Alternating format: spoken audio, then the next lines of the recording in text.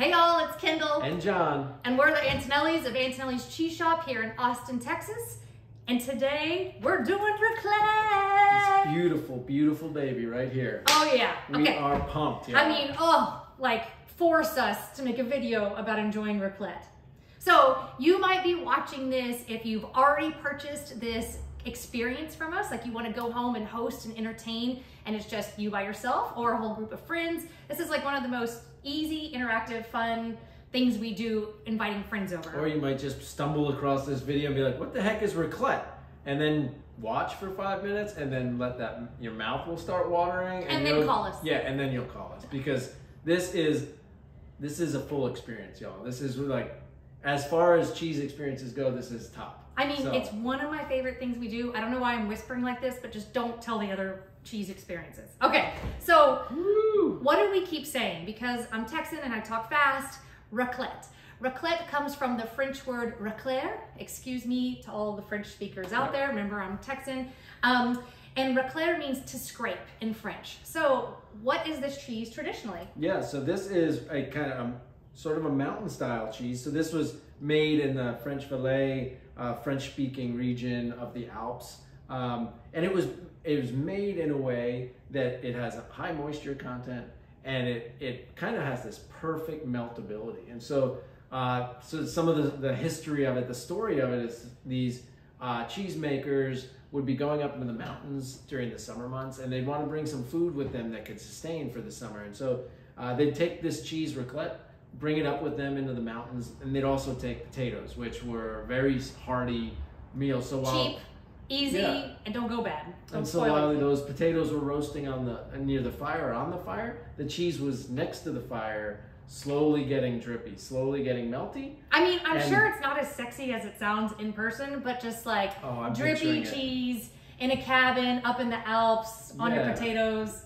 Oh, it sounds fantastic! I can't wait to go back and, and do the ultimate. So it was traditionally, cheese. yes, um, melted fireside, like by the fire, and then you raclette pieces of cheese. They're coming these whole wheels, but you can buy them in a half wheel and a quarter wheel. Some places have these little barbecuettes when you just buy slices. But we like, we think a perfect indulgence for one or two or have four to five to eight people over is a quarter wheel of cheese because nothing is more awesome than Well, scraping this cheese So off of I will just a little insider tip. Our last three holiday parties for our company have all been raclette parties, And we're so, like, really, does our team want to celebrate with cheese? oh yeah, Yes. this was this is what they call for every year. And we do like eight machines, raclette going everywhere. All you can eat. It is outstanding. And so, we have said that raclette is the name of a cheese. It is also the name of a dish, which now you know is a cheese melted on potatoes. Oftentimes now you can also get it with pickles and cured meats. Um, raclette, while we talked about the French Alps, also there's Swiss raclette. And so I've heard dueling notions back and forth about where it started first and Definitely. whose is the best. But you can get raclette made both in France and in Switzerland. That's a great point because I talked about the French, but the, the, The Swiss, Swiss. have, you know, the, are arguably the deep, the just as deep history with this cheese, and and so it's you know again, So a cheese, a, mach- um, a dish, and a machine. So Which- this is a raclette machine. which I won't touch because it's really hot. This is like, uh, yes, an amazing melter um, uh, melter right here, and so they come in different shapes and sizes. The machine you might get is gonna potentially look different when you rent from us, um, and uh, we just like this particular unit, these the shape of it because for a six-person, eight-person party, it's ideal. This is about communal eating, coming together, breaking bread together, and melting cheese. So for those of you that did rent, uh, quick little tutorial here. This is You a, do the hard work. I'm just yeah, gonna you're eat just gonna drink. eat. So this is a beautiful quarter wheel of raclette. Oh. So about eight pounds of cheese, seven pounds. Uh, what we want to do here is You want to pick them up and show them how that piece came? oh, okay. well now it's in there. Look at that. So the the piece has these points on If it. that fell out, don't worry, Yeah. you didn't break it. It's supposed to move. It's supposed to.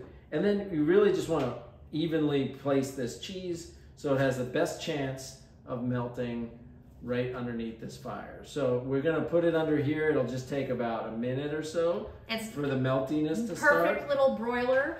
Um, another pro tip, we let our cheese come to room temperature before we started melting it. Yeah. So I would say about two hours, right? yeah, Let it come out. The if it's at room temperature, that sucker will melt evenly and you're gonna get better quickly. scrapes. Um, it doesn't mean if you didn't do that, you can't. It just means it will take a little bit Yeah. longer and it will maybe heat unevenly. But hey, melted gooey cheese, psh, it's fine anyway. You're gonna. It's gonna taste just as wonderful. So while that's going, if you rent it from us, what else comes with it? You're gonna get, you're gonna get. This is just a sampling. You actually get so much more. But baguette because bread, Right. fresh bread. gonna we include uh, two trays of bread, hmm and then we include uh, three trays of cured meats and pick. Oh, I can hear it bubbling. Can you hear it bubbling? No. Yes. Maybe. Oh, I'm so excited. I don't know what the sound effect of bubbling is. I don't is. know, but I, I like. I don't know if you can Maybe if we it were quiet for once, you could hear it. Okay. But So then on our tray, we've got cured meats, and you're pairing that richness with the richness. They're both um, a little bit fatty.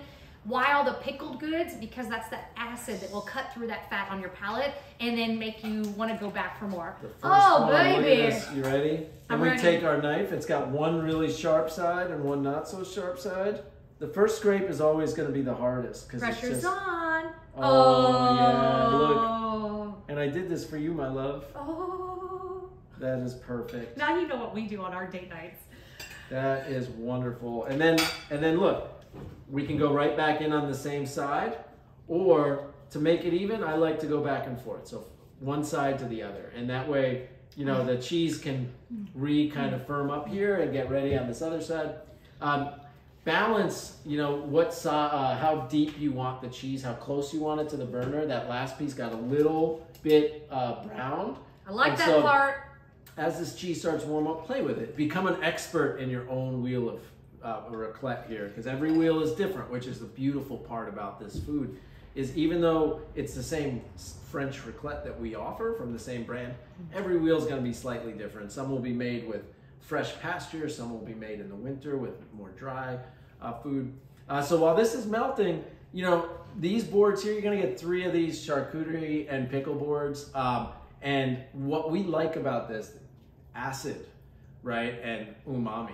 This, this is part of the experience. This cheese is rich and decadent and bold, and so cutting through with some of the pickles. Okay, I'm gonna show the- you my favorite bite because Oh yeah. clearly putting it on baguette is easy. But here's my favorite bite, y'all, and this is good for those of you who are gluten free or just want to keep all your calories on your cheese.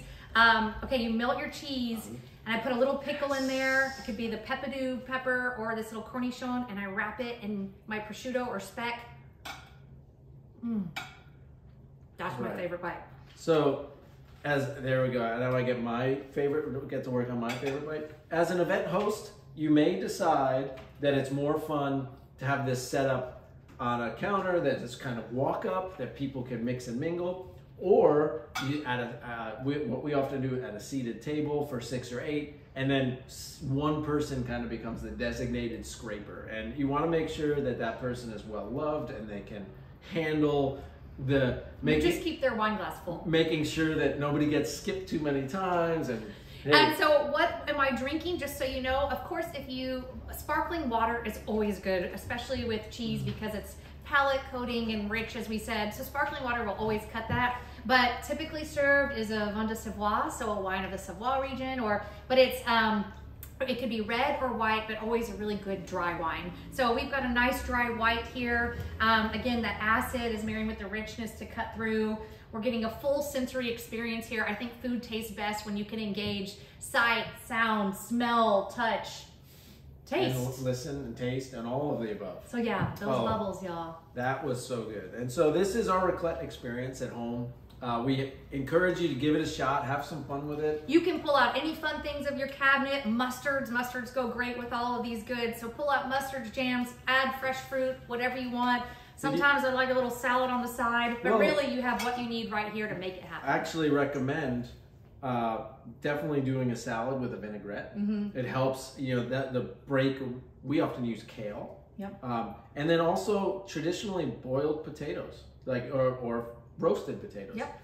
So definitely incorporate some of those um, uh, foods into this traditional dish, and you guys are gonna have a great time. And thank you for joining us. Wish you were here with us in this space. I don't know, then we'd have to share our cheese. That's fair. all That's right, happy racletting, y'all.